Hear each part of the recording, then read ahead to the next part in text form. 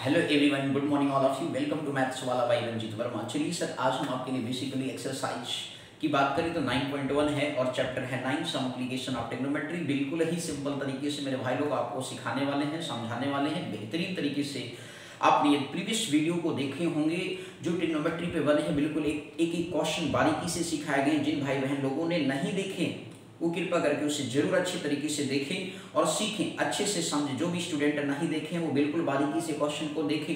यदि उनको टिग्नोमेट्री में बेसिकली आपका टेन मार्क्स से एट मार्क्स के बीच में पूछा जाता है वैसे ओवरऑल देखा जाए तो ट्वेल्व मार्क्स का पूछा जाता है। बट एट मार्क्स आप समझ लीजिए श्योर रहता है। ठीक है ना? जो ब्लू आपको मिलेगा।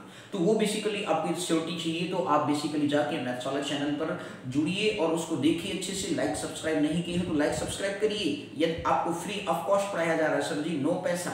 ओनली बस आपकी क्या है सर मदद करना चाहता हूँ कि आप बस दूर दूर तक जा सकूँ। ठीक है ना मेरे भाई, इस चैनल के बाया।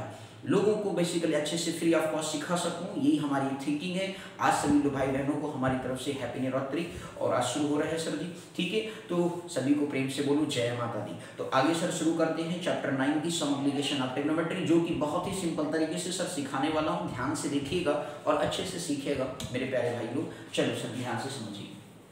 क्वेश्चन सर आपके पास है, जो कि बहुत ही इंपॉर्टेंट है। ध्यान से देखिएगा। आपसे लिखा है, sir a circus artist is climbing 20 metre long अब वो बेसिकली क्या है, एक सर्कस आर्ट आपने देखा होगा सर्कस में खास तौर तो वहाँ पे ऐसे रोप लगे होते हैं ना भाई, जैसे तंगो जो तानते हैं समथिंग तो 20 metre long rope which is tightly जो है straight and tight from the top of a vertical pole अब लेट सपोज़ मान लेते हैं कि सर ये एक वर्टिकल पोल हो गया। ध्यान से समझिएगा बहुत ही सिंपल कॉन्सेप्ट सिखाऊँगा सर बिल्कुल बिना परेशान।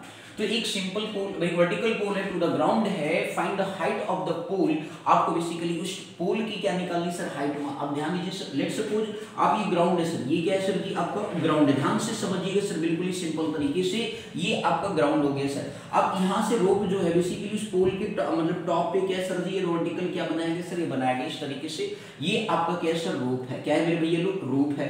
ध्यान से समझते रहिए सर तो इन्होंने कहा था कि बेसिकली रूफ है और ये आपका क्या सर पोल है। ध्यान से समझिएगा सर। पोल आ गया सर जी। हॉरिजॉन्टल आपका बेसिकली जो है वो ग्राउंड हो गया और ये आपका टाइटली स्टेज है रोप हो गया। तो देखिए सर, एक राइट एंगल ट्रायंगल का क्या हो गया सर? फॉर्मेशन हो गया। किसका फॉर्मेशन हो गया? राइट एंगल ट्रायंगल का। और sir ji right angle triangle में एक एंगल का हो गया 90 डिग्री लेट सपोज़ मान लेते हैं सर, ये ए बी है, जो हाइट ऑफ़ द पोल है, और ये आपका बी सी और ए सी आपका क्या सर? रूप है। और देखिए सर जी, आपको ए सी बेसिकली रूप जो है ट्वेंटी मीटर लॉन्ग रूप है। दैट मीन एक तरीके से राइट एंगल ट्रायंगल में स्लैंट लाइन को क्या कहते हैं? हाइपोटेनस कहते हैं। ये आपका वर्टिकल पुल है तो हाइट हो गया तो लेट कर लेते हाइट ऑफ़ द पुल तो इन्होंने कहा कि भाई फाइंड आगे बोला सर आगे देखिए question if the angle made by the rope with the ground level is 30 degree मतलब यहाँ से जब हम देख रहे हैं तो हमारे आई पर जो बेसिकली हॉरिजॉन्टली देखें इंक्लाइन कर एज लाइक दिस तो उस पर्टिकुलर केस समय अब आप इस तरीके से देख रहे हो तो ये जो एंगल फॉर्म हो रहा है, वो कितना हो रहा है सर? 30 डिग्री हो रहा है। कितना हो रहा है मेरे लोग 30 डिग्री का फॉर्मेशन हो रहा है। तो अब बताओ सर जी, आपको यहाँ पे बेसिकली क्या निकालना हाइट ऑफ़ द पोल निकालना तो जो चीज़ आपको निकालना रहे ना सर, उसी चीज़ को आप क्या मानेंगे? एच मान, यदि हाइट है तो एच मान लीजिए। Let height of the pole is क्या मान लेंगे? सबसे बस एक वर्ड लिखेंगे let height of the pole is H मानेंगे सर। ध्यान से देखिएगा, बहुत ही सिंपल तरीका मेरे भाई तो let height of the pole क्या हो गया सर? एच हो गया ओके अब इसके बाद सर जी यहाँ पे देखो सर, आपको ये को बात होती है सर कौन से टिग्नोमेट्रिक रेशियोज का हमें इस्तेमाल करना है? तो मैंने कहा, मेरे भाई देखो, ये आपका परपेंडिकुलर हो गया, ये आपका हाइपोटेनस हो गया तो परपेंडिकुलर अपन हाइपोटेनस कौन होता है? साइन थीटा होता है। तो लेट सपोज़ यहाँ पे आप यूज़ करेंगे तो आपका sine theta in triangle ABC let suppose in triangle ABC में साइन थीटा एंगल थीटा आपको गिवन है सर तो sine theta equal to perpendicular अपन क्या लगा दिए सर हाइपोटेनस तो साइन 30 डिग्री थीटा दे रखा सर जी तो आप यहाँ पे साइन 30 डिग्री लिख लें और इसके बाद परपेंडिकुलर को आपने एच माना है सर जी दैट मीन्स पहले आप ए बी लिख लो सर जो दिया गया है sir A B upon hypotenuse आपके पास क्या सर ए सी गिवन है बोलो क्लियर है यानी तो अब इस तरीके से सर साइन थर्टी की वैल्यू आपको यह, बस टिग्नोमेट्री चार्ट, इस चैप्टर में टिग्नोमेट्री चार्ट याद होनी चाहिए और जो कॉन्सेप्ट सिखा रहा हूँ सर, वो कॉन्सेप्ट याद होना चाहिए। आपके एट मार्क्स श्योर है सर, क्योंकि टू क्वेश्चंस आपके पेपर में बिल्कुल हंड्रेड परसेंट श्योर आएगा ही सर तो इसलिए जो है ना सर आपको अच्छे से सीखना होगा एक एक क्वेश्चन मैं रोज डेली आपको पाँच, छह, सात क्वेश्चन दो, तीन दिन, दो दिन में ये एक्सरसाइज पूरी कंप्लीट करूँगा, क्योंकि एक ही एक्सरसाइज है सिक्सटीन क्वेश्चन है तो दो ज़्यादा ज़्यादा. ठीक है तो ध्यान से समझिएगा तो sine thirty A B upon A C one upon two हो गया सर जी. ए बी आपके पास क्या है सर एच माना आपने वर्टिकल आपका कितना सर ट्वेंटी मीटर बोलो क्लियर हो गया? अब इस तरीके से सर जी, आप क्या करोगे? क्रॉस मल्टीप्लाई कर लिए सर जी. ये ट्वेंटी इंटू वन हो गया अपान टू गया. दैट मीन एच बराबर क्या sir twenty upon two metre तो इस तरीके से सॉल्व कर लिया तो कितना आ गया सर टेन मीटर आ गया कितना आ गया मेरे भैया?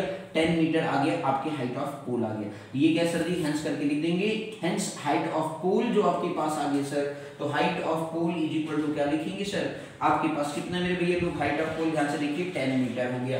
बोलो सर, समझ में आ गई कि नहीं? अब देख लो सर, कितनी सिंपल सा क्वेश्चन था सर, ये क्वेश्चन सॉल्व हो गया। तो देखिए, लाइनें बड़ी होंगी, पर सोल्यूशन बड़ा प्यारा होगा। तो इसलिए मेरे भाई लोग ध्यान से देखिए और मैथ्स वाला पे जुड़िए और अच्छे से सीखिए बारीकी से एक एक क्वेश्चन को, क्योंकि मैथ्स वाला ने टारगेट किया है कि हर किसी बच्चे को मैथ्स एक बारीकी से बिल्कुल सिखाना है और मज़ेदार करके बिल्कुल मज़ा आ जाए जिनसे। नंबर जब पाएँगे तो मज़ा ही आएगा, है ना भाई? तो इसलिए बस ध्यान से पढ़िए सर जी, और ज़्यादा से ज़्यादा अपने दोस्तों को भी लाइक सब्सक्राइब ज़रूर कराएँ सर जी, जिससे कि फ्री ऑफ़ कॉस्ट पढ़ सकें सर। ठीक है ना? आपके जो भी नात रिश्तेदार आप शहर में रह रहे सिटी में रह रहे हैं और गाँव में रह रहे हैं तो उनको भी भेजिए, जिससे कि free of cost English medium की मैथ की पढ़ाई कर सके, हिंदी मीडियम वालों को भी भेजिए, क्योंकि दोनों इंग्लिश में हम पढ़ाते हैं। इसमें से? इंग्लिश में पढ़ाते हैं not a totally English language okay तो चलिए सर ये बात करते हैं क्वेश्चन नंबर टू के बारे में, बहुत ही बेहतरीन क्वेश्चन है, ध्यान से देखिएगा। आपके पास लिखा a tree breaks due to storm अब एक पेड़ है भैया, पेड़ तो सीधे होता है तो आप सीधे पेड़ बना लो भाई। ध्यान से समझना क्वेश्चन पढ़ा सर ठीक है ना? क्योंकि मेरे पास टू डी है भैया थ्री डी नहीं है डिजिटल बोर्ड नहीं है तो आपके लोगों के आशीर्वाद होंगे तो डिजिटल बोर्ड भी हो जाएँगे कुछ समय बाद। तो बस आप लोग कृपा करके बस चैनल पर जुड़े रहिए कायदे से पढ़ते रहिए, अच्छे से सीखते रहिए, बिना परेशान ओके चलिए सर ध्यान दीजिएगा। आपके सामने लिखा sir a tree breaks break हो गया ड्यू टू स्टॉम तो इसलिए जो है एक ये स्टॉम बेसिकली आपका ट्री है, हमने इस तरीके का ट्री होगा भैया। ठीक, बना लिए।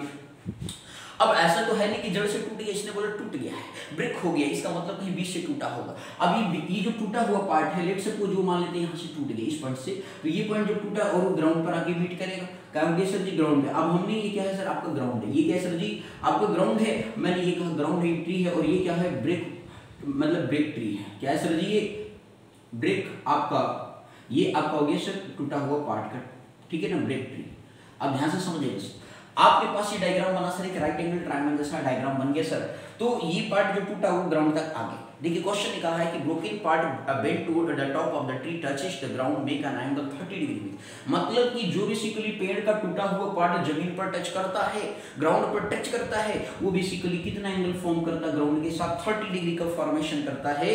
तो the distance between the foot of the tree to the point बताइए। तो उस पर्टिकुलर आपको ये भी डिस्टेंस बताना सर जी, कि बेसिकली वो जो पेड़ टूट करके गिरा है टच किया है ग्राउंड को, वो बेसिकली वहाँ से और उस पेड़ के पौधे मतलब पेड़ तक के बीच की डिस्टेंस कितनी होगी? दूसरा पॉइंट आपसे क्या कह रहा है, सर जी? आगे कह रहा है कि basically where the top touch the ground is 8 metre मतलब ये कहा गया कि सर, ध्यान से समझिएगा मेरे भाई लोग फिर से एक और अच्छी बात बोल रहे इसने। इसने कहा है कि बेसिकली जो डिस्टेंस है ग्राउंड इज़ 8 मीटर मतलब यहाँ से यहाँ तक का डिस्टेंस कितना आ गया, सर? 8 मीटर आ गया। लो भाई, आपसे ये भी दे रखा दी बोला the distance between the foot of the tree to the point where the top touches the ground is 8 metre मतलब कि बेसिकली जो टूटा हुआ पार्ट प्लेट प्लांट का जो है ग्राउंड को टच करता है ना, वो बेसिकली 8 मीटर की दूरी पे जाके टच करता है। तो अब आपसे ये कहा गया कि, सर जी, कि find the height of the tree अब एक बात बताओ, sir height of the tree क्या होगा? ध्यान से समझिए। बेसिकली ये टूटा हुआ पार्ट है तो ये आपका टोटली हाइट है। अब यही पार्ट में जो है भाई, टूट करके यहाँ पे आके मिल गया। बोलो, बात समझ में आया कि नहीं? तो हमको जो है ये वाला पूरा पार्ट निकालना। बोलो, समझ में आ गया कि नहीं आया?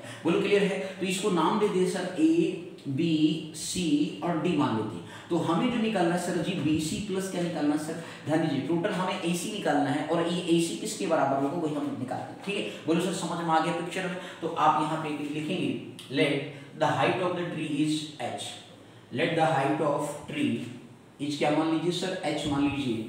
देन आपका यहाँ पे पिक्चर से देखिए फ्रॉम फिगर से मैं लिख रहा हूँ, थोड़ी सी बातें लिखूँगा सर ध्यान से समझिएगा बिल्कुल।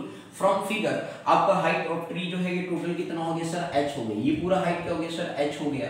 तो ये हाइट एच है, ध्यान से समझिएगा सर हाइट आपका कितना हो गया सर एच हो गया। अब ये बेसिकली टूटा हुआ पार्ट है तो यहाँ पे फ्रॉम फिगर से देखिए एसी जो है, आपकी किसके बराबर होगा sir AC A B plus क्या होगा सर बीसी होगा। ए बी प्लस क्या होगा सर बी सी होगा। और सर जी यही ए बी पार्ट आके ग्राउंड पे क्या होगा सर टच किया है। तो उस पर्टिकुलर केस में मेरे भाई, ये ए बी जो है, किसके बराबर होगा? बी डी के बराबर होगा, क्योंकि यही टूटा पार्ट नीचे आके टच कर रहा है आठ मीटर की दूरी पर। बोलो सर समझ में आ गया कि नहीं? अब यहाँ पे सर जी ए बी बराबर B D that means A C बराबर क्या हो गया? बी डी प्लस क्या हो गया सर बी सी हो गया। बोलो क्लियर है? तो ये हमें बी डी आपका मिल जाए किसी तरीके से और बी सी मिल जाए तो बात तो बन जाएगी सर। तो ध्यान से जरा समझते हैं सर, बहुत ही सिंपल सा क्वेश्चन है। देखिएगा, आपके पास सर बेस पता है। क्या पता है सर इन ट्रायंगल हम बात करते हैं बी सी डी में बात करते हैं। ध्यान से समझिए, बहुत ही सिंपल तरीका बताएँगे। इन ट्रायंगल बी सी डी में यदि आप बात करें सर, यदि आप बीसीडी की बात करते हैं तो देखिए सर, ये आपका क्या है परपेंडिकुलर है। और ये क्या है सर जी? बेस है। तो परपेंडिकुलर और बेस में रेशियो किसका होता है? टेन का होता है किसका होता है टेन ट्रिग्नोमेट्री तो आप लिखेंगे sir tan theta equal to perpendicular upon क्या लिखेंगे सर? बेस लिखेंगे। और परपेंडिकुलर यहाँ पे कितना है सर? बीसी है ध्यान से देखिएगा सर बीसी है और बेस कितना है सर? सीडी है। आपने टेन थीटा कितना है? थीटा थीटा पे रखिए। अब अगली बार में वैल्यू पुट कर दीजिए ठीक है ना? तो इस तरीके से आपके पास कितना हो गया? थीटा थर्टी डिग्री हो गया। बीसी सर आपको निकालना है। और सी आपके पास कितना sir? Eight metre tan thirty कितना होता है सर? वन अपन रूट होता है मेरे भाई है ना? तो बीसी अपन क्या सर, एक क्रॉस मल्टीप्लाई कर लीजिए, सर जी। तो इस तरीके से एट अपन क्या हो गया? तो बी सी इक्वल टू आपके पास आ गया eight upon root three metre आ गया आप बोले सर रेसलाइज कर दे अभी करने की ज़रूरत नहीं है, बाद में कर लेते हैं। ठीक है ना? तो ये बी सी इक्वल टू क्या गया, sir? Eight upon root three metre आ गया। अब मेरे सर जी, अभी देखो यहाँ पे बी सी तो हमारे पास लेट सपोज़ आ गया, इसी क्वेश्चन नंबर वन मान लीजिए। ठीक है ना? अब इस तरीके से जो है सर जी, आपके पास बीसी आ गया। अब हमें क्या निकालना सर? बीडी निकालना है। अब बीडी निकालना है तो क्या करेंगे? देखो, परपेंडिकुलर अपान क्या होता है सर जी? आप चाहे बेस अपान दिस लगा लो, चाहे दिस अपान, क्योंकि एक आपको वैल्यू आ चुकी है। तो आप क्या निकालना चाहते हैं सर? ये लगाना चाहते हैं। परपेंडिकुलर अपान हाइपोटेनस मतलब साइन थीटा होता है ना भैया? तो आप लिखेंगे नाउ साइन थीटा आप यूज़ कर रहे हैं। सर, साइन थीटा क्या हो गया? सर, परपेंडिकुलर अपॉन हाइपोटेनस हो गया। परपेंडिकुलर बीसी आ गया, सर जी, और आपका हाइपोटेनस, आपका बीडी है।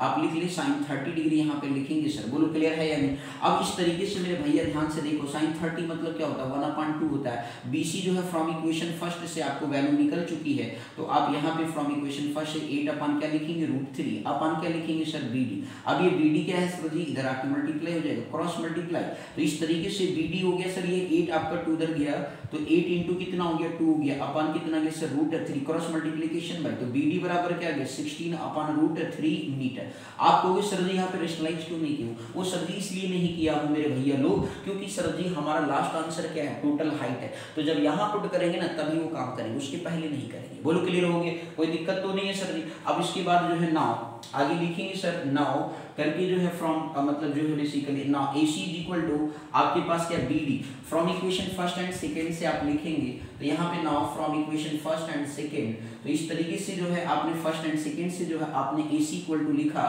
तो A C is equal to आपने वैल्यू पुट कर दिया सर ए सी की वैल्यू देखिए पिक्चर में कितना आ गई बी क्या है? बी डी बी डी आपके पास है sir sixteen upon root three और प्लस आपका जो है सर अब बीसी कितना एट अपॉन रूट थ्री है सर। लिख लीजिए जल्दी से। अब और क्या है सर? मीटर लगा लीजिए। बोलो क्लियर अब आप देखिए सर जी, यहाँ पे बड़ा सिंपल सा हो गया। आपका डिनोमिनेटर देखिए सर, क्या है सर? सेम है। तो सेम है तो आप लिख लीजिए सेम है तो रूट थ्री लिख लीजिए और डिनोमिनेटर आज इट इज़ ऐड हो गया सर।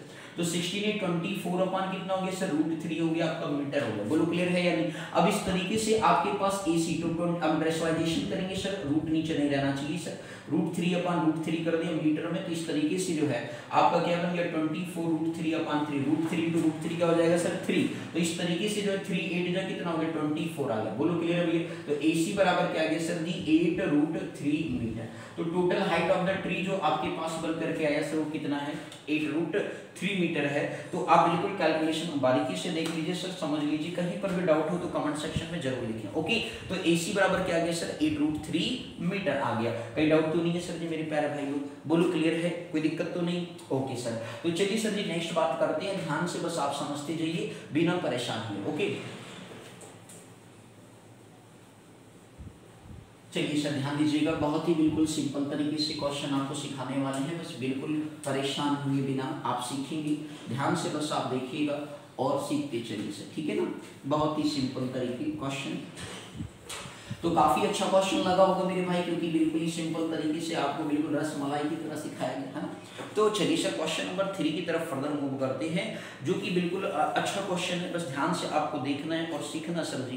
Question number three आपके पास है, बिल्कुल मज़ेदार क्वेश्चन है। आपसे ये कहा गया, सर, एक कॉन्ट्रैक्टर है प्लान करता है to install two slides for the children to play in park मतलब स्लाइड मतलब समझते हो ना? जो बेसिकली पार्क वर्क में देखते हो कि बच्चे स्लाइड करते रहते हैं तो उस रहते हैं ना भाई? तो उस तरीके से कहने का उनको बड़ा मज़ा आता है। है ना भाई? आप लोग भी कभी खेले होंगे, ठीक है? हमने भी कभी खेला होगा और चोट खाया होगा थोड़ा बहुत, है ना? प्रसाद लिया होगा। तो इसलिए चलिए सर, आगे बात करते हैं। तो आपसे ये कहा गया कॉन्ट्रैक्टर है वो कहता है इंस्टॉल करता है चिल्ड्रन के लिए to play in park for the children below the age of five year she prefer to have a slide who stop in the height of मतलब कि जो छोटे बच्चे हैं, पाँच साल से छोटे बच्चे हैं, उनके लिए जो है बेसिकली एक स्लाइड बना रहा है सर जी 1.5 मीटर की हाइट का बना रहा कितने हाइट का सर जी? 1.5 मीटर की हाइट का लेट सपोज़ बना रहा है।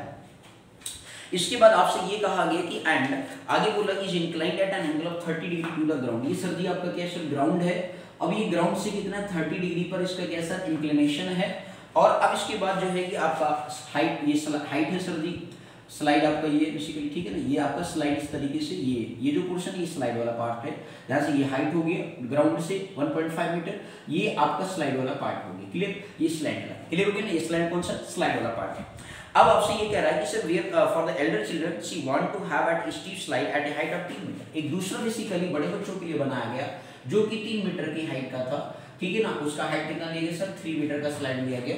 अब इसने कहा कि इंक्लाइनेड एंगल ऑफ़ 60 डिग्री अब वो भैया थोड़ा सा कितना हो गया? 60 डिग्री का इंक्लिनेशन हो गया। इसमें जो हो गया 60 डिग्री का हो गया, ये आपका स्लाइड हो गया सर यहाँ पे। ठीक है? अब ध्यान दीजिएगा सर तो अब इस तरीके से आपसे ये बोला कि मेरे भाई जो है, आगे बताइए when what should be the जो है length of the slide each case तो आपको बेसिकली स्लाइड का लेंथ मान लेते हैं सर ये आपका ए बी सी है और ये आपका डी ई एफ़ मान लेते हैं। तो बड़ा ही सिंपल सा क्वेश्चन है सर जी। आपको ये स्लाइड की लेंथ पता करनी दैट मीन्स आपको ए सी और क्या निकालना है सर जी? डी एफ़ निकालना है। बहुत ही बिल्कुल सिंपल तरीके से तो उन्होंने कहा कि what should be the length of the slide in each case तो डायग्राम आप बोलो, सर, समझ में आ गया कि नहीं? कोई दिक्कत तो नहीं है मेरे भाई लोग क्लियर ठीक, ये आपका स्लाइड की हाइट हो गई। अब स्लाइड ये आपका हो गया, सर, ये ग्राउंड हो गया। एक दूसरे बड़े बच्चों के लिए बनाया गया, सर जी, जो पाँच साल से बड़े के थे, उनके लिए बेसिकली एल्डर बच्चों के लिए ये बनाया गया। डी ई एफ़ ट्रायंगल हमने टेक किया। हाइट उसकी तीन मीटर लिया गया और स्लाइड उसका बेसिकली हमें लेंथ बताना। सिक्सटी डिग्री पे एंगल ऑफ़ इंक्लिनेशन दिया गया है। तो चलिए, सर जी, बात करते हैं।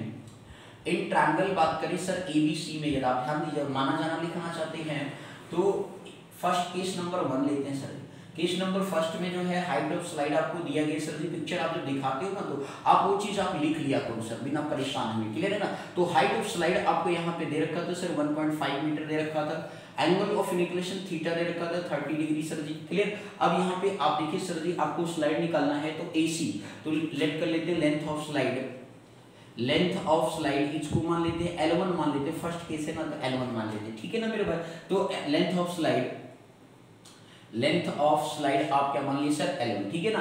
अब इस तरीके से इन ट्रायंगल एबीसी में यदि बात करो तो इन ट्रायंगल एबीसी में यदि बात करो तो देखिए सर जी, यहाँ पे सर जी एंगल आपको क्या निकलना हाइपोटेनस हो गया, है ना? स्लाइड क्या हो गया हाइपोटेनस तो परपेंडिकुलर दिया गया हाइपोटेनस निकालना है। तो बात कौन सा टेक्नोमेट्रिक आपका रेशियो होता है? तो हमने कहा साइन होता है। कौन सा होता है मेरे भाई? साइन होता है। तो इस तरीके से आप क्या करेंगे सर? साइन थीटा लगाएँगे। तो परपेंडिकुलर अपन क्या लिखेंगे सर? हाइपोटेनस लिखेंगे। तो इस तरीके से आपके पास क्या हो गया सर? साइन थर्टी डिग्री हो गया। परपेंडिकुलर आप देखें तो सर ए बी हो गया। हाइपोटेनस को देखें तो आपके पास ए सी हो गया। सर ए सी को आपने एल वन माना है तो आप लिख सकते हो A B one point five metre हो गया। ए सी आपके पास कितना हो गया सर एल वन हो गया। और साइन थर्टी डिग्री तो साइन थर्टी मतलब वन बाई टू होता है सर तो एल क्रॉस मल्टीप्लीकेशन कर लिया मेरे भैया लोग ऐसे। तो एल वन इंटू वन करेंगे तो एल वन ही रहेगा और ये मीटर में है ना भाई? बोलो क्लियर तो वन पॉइंट फाइव इंटू कितना हो गया sir one point five into two metre हो गया। तो एल वन इक्वल टू आपके पास कितना आ गया सर थ्री मीटर आ गया। बोलो क्लियर है अब इस तरीके से जो एल वन आपके पास आ गया, वो आपके पास कितना हो गया सर थ्री मीटर हो गया। कोई दिक्कत तो नहीं है मेरे भाई। तो इस तरीके से बेसिकली क्या करते हैं सर क्वेश्चन की सॉल्विंग करते हैं। ठीक है ना? तो ये आपके पास मतलब फ़र्स्ट स्लाइड की लेंथ आ गई थ्री मीटर अब चलिए सर सेकंड की बात करते हैं। तो केस नंबर सेकंड लिखते हैं। यहाँ पे भी वैसे लिख लोगे सर हाइट ऑफ़ स्लाइड आपको दे रखा है सर आप लिख लीजिए, कोई दिक्कत नहीं। तो हाइट ऑफ़ स्लाइड आपको कितना दे रखा है सर थ्री मीटर आपको दे रखा है। एंगल कितना दे रखा है? इंक्लिनेशन दे रखा है सर आपका सिक्सटी डिग्री दे रखा है मेरे भैया लोग गुस्सा नहीं मेरे भाई 60 डिग्री दे रखा। क्लियर है ना? अब इसके बाद लेंथ ऑफ़ स्लाइड मान लेते हैं L2 मान लेते हैं यहाँ पे। सेकंड केस में क्या मान लेते हैं? लेंथ ऑफ़ स्लाइड आपको जो दे रखा है, उसे आप L2 टेक कर लीजिए। अब इस तरीके से यदि आप इसे ध्यान से देखें तो इन ट्रायंगल की बात कर लीजिए सर एफ़ में। तो एफ़ में अगेन वही बात आएगी सर साइन थीटा आएगा परपेंडिकुलर अपान क्या होगा सर? हाइपोटेनस होगा। बोलो क्लियर है या नहीं? अब इस तरीके से मेरे भैया लोग कहाँ पे सॉल्व करने सर? थोड़ा इधर सॉल्व कर देते हैं। नाराज़ नहीं हो जाएगा बोलो क्लियर है भाई? तो इस तरीके से आपके पास क्या आ गया, सर? साइन थीटा आ गया। तो परपेंडिकुलर देखो मेरे भैया कहा है? डी ए है। परपेंडिकुलर क्या सर? डीई हाइपोटेनस को देखिए तो क्या सर? डी एफ़ है। स्लैंट लाइन देखिए, सर? डी एफ़ है। बोलो क्लियर हो गया कि नहीं? कोई दिक्कत तो नहीं है ना मेरे भाई? अब इस तरीके से साइन थीटा मतलब साइन 60 डिग्री हो गया। डीई डीई की वैल्यू 3 मीटर दे रखा है डीएफ आपको सर निकालना है। बोलो क्लियर 60 मतलब क्या होता है sir root three by two होता है। थ्री अपन कितना हो गया? डीएफ हो गया मीटर क्रॉस मल्टीप्लीकेशन करना पड़ेगा भैया। तो डीएफ बराबर कितना हो गया सर थ्री इंटू टू कितना हो गया सर सिक्स हो जाएगा ना। अपन में कितना हो गया सर रूट थ्री हो गया। तो अब इसको रेशनलाइजेशन करना पड़ेगा मेरे भाई। तो six into root three upon क्या कर दिया sir root three into root three ये बन गया sir six root three upon कितना आ गया? रूट आपका रूट से रूट क्या हो जाएगा? सर रिमूव थ्री आ गया। तो थ्री टू जो कितना हो गया? सिक्स हो गया। दैट मीन्स क्या sir two root three metre आ गया। बोलो सर क्लियर है? तो पहले केस में एल वन जो है सर थ्री मीटर आया। दूसरे केस में एल टू जो आया sir two root three metre आ गया। तो सर जी यदि आप इसको मन कहे ना तो अपने सांत्वना के लिए देखिए एनसीईआरटी में क्या किया गया सर कि बेसिकली रूट थ्री के वैल्यू को आगे जो है सॉल्व करके नहीं दिखाया गया। यदि आपको यहाँ पे दिया गया होता कि रूट थ्री की वैल्यू वन होती है तो उस पर्टिकुलर केस में आप यहाँ पे सॉल्व करके उसको मल्टीप्लाई करके बता देते कि सत्रह दुना तीन दशमलव चार पाँच समथिंग करके कुछ आया। ठीक है ना? तो वो चीज़ यहाँ पे सिचुएशन जो है सर आपका नहीं है। तो इसलिए जो है, यदि आपको दिया होता तो हम यहाँ पे रूट थ्री की वैल्यू को वन पॉइंट सेवन थ्री रखेंगे और नहीं दिया है तो हम नहीं रख करके बस यहीं पे ड्रॉप कर देंगे। बस डिनोमीटर में यदि रूट आता है तो उसको रेशनलाइज करके सॉल्व करके देंगे। बोलो, आगे सर समझ में नहीं कोई दिक्कत? तो लेंथ ऑफ़ स्लाइड आपके पास आ गया। थ्री मीटर इसमें टू रूट थ्री है। अब इसको सर सॉल्व करोगे तो थ्री पॉइंट फाइव के ऊपर थोड़ा सा जाएगा, बाकी और कोई ज़्यादा अंतर नहीं आएगा। बोलो सर क्लियर हो गया क्वेश्चन नंबर थ्री कहीं डाउट तो नहीं है सर जी? बोलिए। चलिए सर एक छोटा सा प्यारा सा क्वेश्चन एक और देखते हैं। ध्यान से देखिएगा। बिल्कुल ही सिंपल तरीके से, बिना परेशान हुए देखिए सर बस बारीकी से क्वेश्चन को आप देखते चलिए, सीखते चलिए, बिना परेशान हुए नो हेड आई बस समझ में मेरे भाई यही चीज़ आपको ध्यान में रखना है, बिना परेशान हुए सर बिना परेशान हुए क्वेश्चन को सीखते चलना है sir question number sir four है, ध्यान दीजिएगा, बिल्कुल सिंपल तरीका। आपसे लिखा है sir the angle of elevation of the top of a tower from a point on the ground angle of elevation का मतलब ऐसे घर में खड़े हो कॉर्नर देख रहे हो तो उस केस में जो आपके आई पे एंगल का फॉर्मेशन हो रहा है ना तो उस पर्टिकुलर केस में जो ग्राउंड मतलब आई के ठीक सामने हॉरिजॉन्टल लाइन ड्रॉ करें और उसको देखेंगे तो इस केस में जो ये बन रहा है ना सर ये एंगल ऑफ़ एलिवेशन कहलाता है। क्या कहलाता है सर एंगल ऑफ़ एलिवेशन कहलाता है, ठीक? तो अब यहाँ पे जो है sir ji angle of elevation of the top of tower तो ये भी टावर बना लिया हमने। क्या बना लिया सर? टावर अब एंगल ऑफ़ एलिवेशन ये दिखा दिया सर जी कुछ इस तरीके का। अब इन्होंने कहा है कि भैया ध्यान से समझना। इन्होंने कहा the angle of elevation of the top of the tower from a point on the ground which is 30 metres away from the foot of tower तो यहाँ से 30 मीटर की दूरी पर जो है एंगल ऑफ़ एलिवेशन जो है बेसिकली कितना है? 30 डिग्री का है। तो उस केस में हाइट ऑफ़ द टावर बताओ। देखो भैया, कितना सिंपल लेट कर लेते हाइट ऑफ़ द टावर का मान लेते सर ये टावर हो गया, ये आपका ग्राउंड हो गया, ये क्या हो गया भैया? ग्राउंड हो गया। ठीक है ना? और ये आपका एंगल ऑफ़ एलिवेशन 30 डिग्री आपके आई पर क्या हो रहा ऑब्जर्वर के आई पे फॉर्म हो रहा है क्लियर तो इस तरीके से ये आपका एंगल ऑफ़ क्या हो गया सर जी? एलिवेशन हो गया। ये क्या हो गया sir ji? Angle of elevation हो गया मेरे भाई। बोलो सर क्लियर है या नहीं? अब ये बात हो गई सर तो भैया देखो हाइट है ग्राउंड है। अब हाइट और ग्राउंड है तो उस पर्टिकुलर केस में क्या करोगे मेरा भाई? बोलो। अरे भाई यार टाइम लगा देंगे क्या लगाएँगे? कौन सा टेक्नोमेट्री टाइम लगा लेट मान लेंगे sir let the height of tower ध्यान दीजिएगा मेरे भैया लोग। Let the height of tower को मानेंगे एच क्या मानेंगे सर जी? एच मान लेंगे और इसके बाद मेरे पड़ोसी भैया लोग ध्यान से समझिएगा। लेट हाइट ऑफ़ टावर को अपने एच मान लिया तो बेस बेसिकली क्या करना भाई?